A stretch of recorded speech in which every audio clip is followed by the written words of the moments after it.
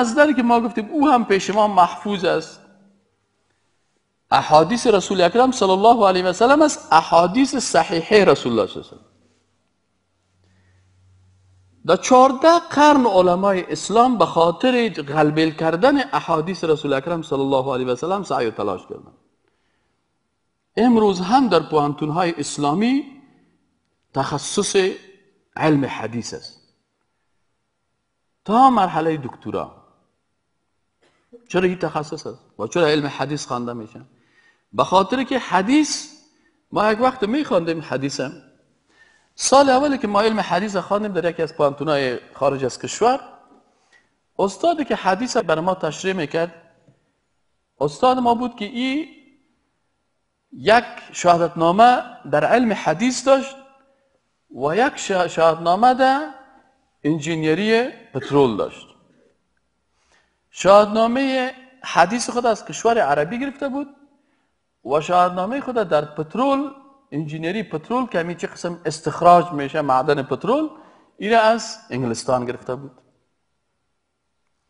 این وقتی که در صنف محمد اولین درسی که ای بر ما داد یک مقایسه کرد بین پترول و بین حدیث. گفت من در انگلستان چند سال تحصیل کردم مسلمان و از عرب بود. از یک طرف در تکنولوژی شاعتنامه داره. چرا مسلمان؟ ما همیشه میره تایید کرده جوانای مسلمان اگر واقعا اسلام می‌خواین که پیروی بکنین باید به دو خط حرکت کنین. مثل خط ریل. خط اسلام و خط تکنولوژی. به مو اندازه که در اسلام پیش باشی امو اندازه باید در تکنولوژی پیش رفته باشی امروز عالمی که مکتب شامله در کامپیوتر نداره و رشتهش اگر رشتهش حدیث باشه تخصص داشته باشه او خوانده. اما دیگه علما یا دیگه دعوتگرای مثل ما که رشته ما حدیث نیست.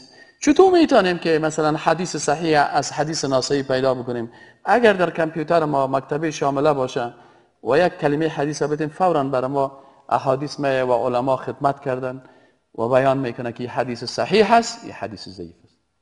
خب استاد احمد دسم روز اول برای ما تشریح کرد گفت من انجینیر پترول هستم. در پالیازی متخصص علم حدیث است گفت شاید بر شما سوال پیدا شود که چی ارتباط از بین پترول و بین حدیث و چرا جمع کردی بین دو رشته؟ گفت حدیث هم از یک معدن گرفته میشه و پترول هم از یک معدن گرفته میشه. تیل وقتی که از معدن خارج میشه ضرورت به تصفیه داره. و حدیث پیغمبر صلی الله علیه و هم که در کتاب آمده ضرورت به تصفیه داره. گفت ما تیل تصفیه می‌کنیم در ماشین میپرتیم بالاخره از این تقسیم بندی می‌کنیم بالاخره گفت از تیل یک جور میشه پترول ساخته میشه از دیزل ساخته میشه و بالاخره از این آخرین مرحلهش قیر میمانه آخرین مرحلهش قیر میمانه پس او تیلی که تهیه است و در برای تیاره استفاده میشه. صافترین پاکترین خوبترین بهترین تیل به نزد متخصصی که ماستری و دکترا داره در پترول انجینیرینگ. این مرحله سر حدیث پیغمبر صلی الله علیه و سلم تطبیق میشه. احادیث پیغمبر صلی الله علیه و که برش نسبت داده شده از عدد ریگ های صحرا بیشتر است. لکن این تصفیه کاری نیاز داره. از نگاه متن و از نگاه سند. متن چی میگه؟ سند چی میگه؟ چهارده قرن از علما سر متن و سند حدیث تحقیق کرده میرن. چرا کتاب صحیح البخاری بهترین کتاب بعد از قرآن عظیم شان است. بس احادیث زیاد است. لکن بعد از اینکه پیغمبر سم وفات کرد رحلت کرد صحابه کرام بودن بعد از پیغمبر هم ابن سبا یهودی هم آمد.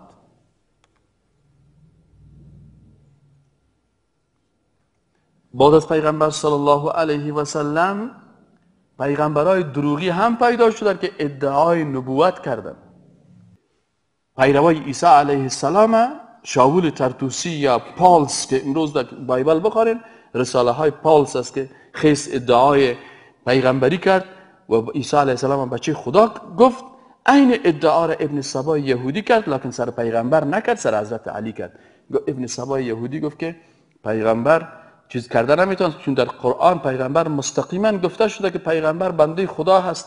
نمی‌تونست. و بیا حضرت علی را پیش گفت و بعد از پیغمبر صلی الله خیس ابن سبا یهودی عین برنامه که پال شاول ترتوسی سر از او داشت را کریستیان ساخت. گفت ما هم می‌خوایم مسلمان ها را اینمی قسم کریستیان مخلوق پرست بسازیم. ابن سبا یهودی هم آمد و عقیده را به نام الوهیت علی که علی خدا هست. ابن سبا یهودی جور کرد.